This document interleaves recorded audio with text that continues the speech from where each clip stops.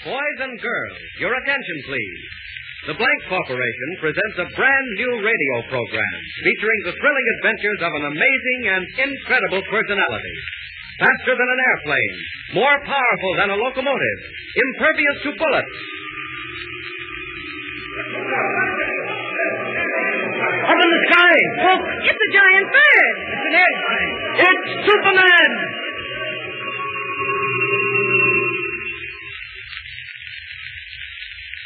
Superman, a being no larger than an ordinary man, but possessed of powers and abilities never before realized on Earth.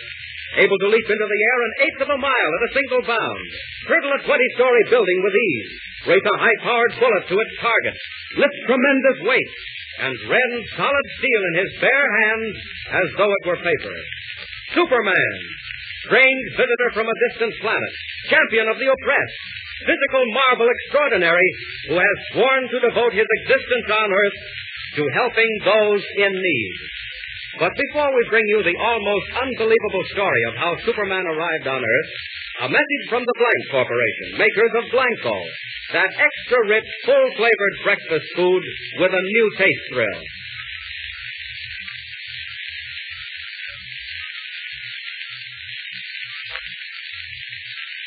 Now for the story of Superman. And as it begins, we ask you to come with us on a far journey. A journey that takes us millions of miles from Earth, where the planet Krypton burns like a green star in the endless heavens. Here, civilization is far advanced. It has brought forth a race of supermen, men and women like ourselves, but advanced to the absolute peak of human perfection. As we near Krypton, we see high walls and gleaming turrets. We approach the magnificent Temple of Wisdom. There, in a great hall, Jor-El, Krypton's foremost man of science, is addressing a meeting of the planet's governing council. Attention, gentlemen. Attention. Jor-El speaks. Members of the council, I have completed my solar calculations, and much as I dread uttering these words, I have come to the conclusion Krypton is doomed. Gentlemen. Gentlemen. Gentlemen. Hear him out. These internal quakes we have been experiencing, these volcanic eruptions, tidal waves, gas escaping from giant craters, all point to only one thing. Krypton is utterly and finally doomed. One moment, gentlemen. One moment. There is no cause for anxiety. I'm certain Jor-El has made a mistake. True, we have had a few minor quakes and eruptions, but nothing very serious. There must be some error in your calculations, Jor-El. No, no, there is no error, Ro-Zan. I only wish there were. The sun is gradually drawing Krypton closer to us. Within a month, possibly only a week, the gravitational pull will be so tremendous that Krypton will not be able to weather the strain. And then our planet will explode like a giant bubble, destroying every living thing on it. Assuming for the moment, Jor-El, that what you say is true, how are we to avoid it? What can we do to stop it? There is only one way. As you all know, I have been working on a spaceship designed for interplanetary travel. With time and united efforts, we might transport the entire population of Krypton to another world. Impossible. Where would we go? To the Earth. My studies tell me the atmosphere of the Earth is very nearly the same as our own. You have been working too hard, Jor-El. You need a rest. Now, believe me, we have the utmost respect for your knowledge and integrity, but this is carrying it too far. Planets as large as Krypton do not explode. Do you hear that? It is the forewarning of doom. Every moment is precious now. Events like that of sounding the death knell of Krypton. It will happen, and happen soon. When the last great eruption comes. When it comes, Jor-El, it shall find us all ready. Krypton is to die, we shall die with it. The parting would be much too severe. All right. Laugh with your right, Ro-Zan. And you, members of the council. I have no time to laugh. My wife, Lara, and my infant son are dear to me. It is not my wish to stand by and see them destroyed. Laugh all of it. But a time will come, and that time is perhaps very close at hand, when you will wish you had heeded the words of Jor-El. Now you think me a fool. But remember what I have said, gentlemen. When Krypton is shattered into a thousand million stars, when the glory of civilization we have built is no more, when you and your families are swept from the face of Krypton like dust. Order. Order, gentlemen. Order. Have heard Jor-El speak. Is it your wish that we devote time and money to the building of spaceships for the transportation of Krypton's population to another planet? I am sorry, Jor-El. The Council has spoken. Yes. And signed the death warrants of every living being on Krypton. Well, I have done my best to convince you. Now all that remains for me is to proceed with my own means of salvation. My own spaceship to save the lives of those near and dear. As for the rest of you, may the gods have mercy on your souls.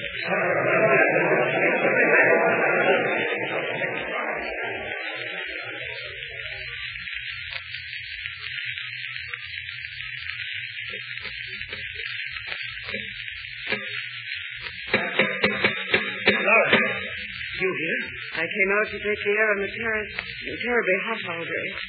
Is that because we're being drawn to the sun, Jor-El? Yes. What did the council have to say about that? I I didn't mention it. Is the model of your spaceship almost finished? I just drove the with it. How does it look? Splendid. Will it work? Ah, that remains to be seen. If it does work, I shall immediately begin construction of another just like it, only much larger. One big enough to carry all three of us to another world. Jor-El, oh, when will that be? Every moment that we spend waiting and wondering. I know, I know, Lara. It's been hard on all of us, and particularly hard on you. How is the boy? Sleeping? That quake this afternoon frightened him, but he's all right now. Can't you come in and look at him? You see him these days, what with working all hours on the spaceship model. It can't be helped, dear. I'm racing against time. Right now, I'm anxious to know whether the model will behave as I hope. How does it operate? Very simply. When all is ready, I throw this switch. That closes the circuit, and electric energy builds up pressure in the atomic generator. Then, at the final moment, the pressure forces the ship from its carrier and speeds it on its way. But where does it go? Wherever it's pointed. This one I am directing to the planet Earth. Earth? What is that, Jor-El? A planet smaller than our own, situated on the other side of the sun. It is inhabited by a race of people similar to ourselves. Like ourselves? Well, only partly, of course. They're about the same size, but nowhere nearly as developed. Very weak and helpless, and with all their faculties extremely limited. How do you mean? Well, I, I haven't time to go into detailed explanation now, Lara, but it's something like this. You know how far you step when you want to go somewhere? Practically as far as I want. Why, one step takes me to Grata's house near the fountain. Exactly. Down where I'm sending this rocket is quite different. An Earthman steps only three feet at a time at most, and everything else is in proportion. And that's where we're going? Oh, dreadful. Which would you rather do? Go to Earth and live, or stay on Krypton and die? I'll do anything you say, Jor-El. Anything. It doesn't matter to me whether we live or die as long as we're together. It's only the boy I worry about. No, Helen. Lara, don't worry. He'll be saved. When will the model be finished so that you can start on the big one? It is finished. In the morning, just as dawn breaks, I'll send it on its way, watching its flight through a high-powered telescope to see whether it lands safely on Earth. Is that the place you plan to take Kal-El and me? We could not breathe on any other planet but the Earth. It happens to have an atmosphere similar to Krypton. I suppose you know best, Jor-El. Are you coming in? Seems to have gotten oppressively hot. Yes, it has. I wonder. Lara, did you hear that? Yes. What is it? Subterranean explosions. Do you feel the ground trembling? Yes, I do. Jor-El, do you think that... I'm afraid it's come. Where is the boy, Kal-El? What do you mean? Get in, quickly. This is the end. Jor-El, what can we do? Nothing. I'm not ready. Oh, what a fool I've been to delay. Oh, it isn't your fault, Jor-El. You did all you could. If only the spaceship was large enough so we could take a chance. Jor-El, would it carry one of us safely to Earth? Oh, I, I think so. But where are you going? Stay here with me. I'm getting tired. If one of us can be saved, Jor-El, it should be the boy. No, no, Lara, come back. If one must go, it should be you.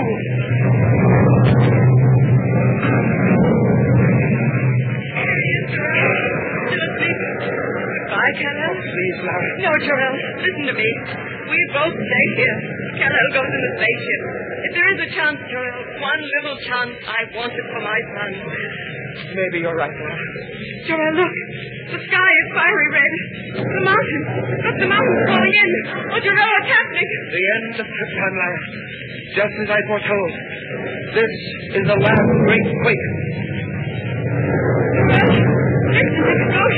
Quick, give me the boy. Kal-El. Kal-El. What are you doing, Jor-El? Opening the door, putting it inside.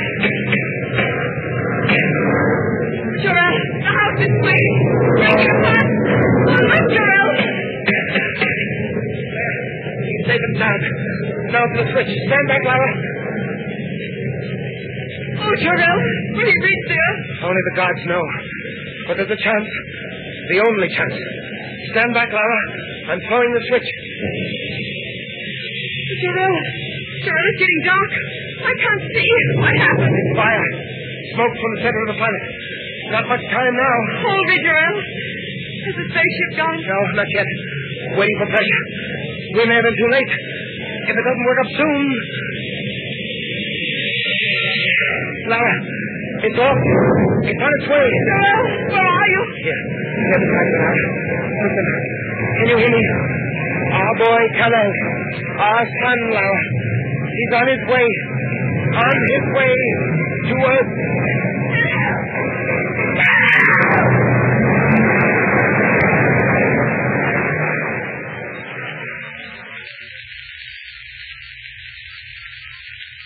So the tiny spaceship roars into the uncharted heavens as the mighty planet of Krypton explodes into millions of glowing fragments, glittering stars to remain forever in the night sky. Jor-El and Lara, devoted parents of the tiny boy, perish in the giant quake that destroys Krypton. But what of the spaceship? Does it reach the Earth? Does it find its mark in all the far-flung darkness of space? Tune in tomorrow and follow the story of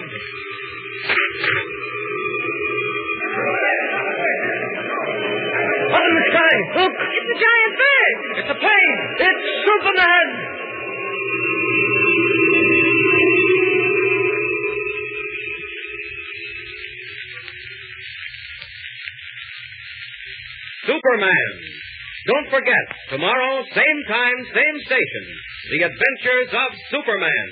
Brought to you by the Blank Corporation, makers of Blanco.